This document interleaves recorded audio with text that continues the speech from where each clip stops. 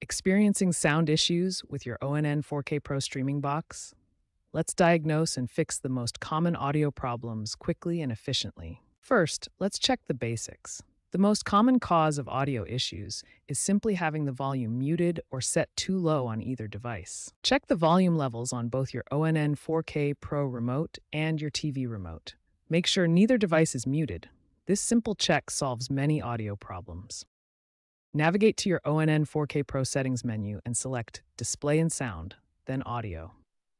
Make sure the audio output is set to your TV or external speakers, not the ONN box's internal speaker. If sound is coming from both the TV and ONN box simultaneously, go into your TV's audio settings and disable HDMI audio or set it to external.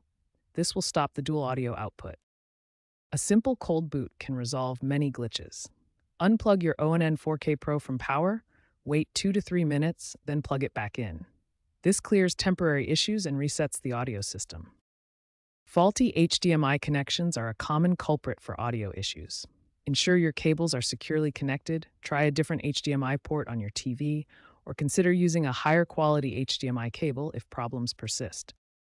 These five steps solve most common ONN 4K Pro audio problems. Check volume settings, configure audio output correctly, fix dual audio issues, try a cold boot, and verify HDMI connections. If you're still experiencing problems, advanced troubleshooting techniques can help resolve more complex issues. When basic troubleshooting doesn't resolve your ONN 4K Pro audio issues, it's time for advanced solutions. We'll explore firmware updates, HDMI CEC settings, and surround sound configurations.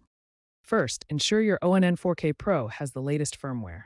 Updates often contain crucial audio bug fixes that resolve common sound problems. HDMI CEC, or Consumer Electronics Control, allows devices to communicate but can sometimes interfere with audio. Try toggling this setting off and on to resolve conflicts. If you're experiencing crackling audio, especially with Bluetooth devices, the surround sound setting may be the culprit.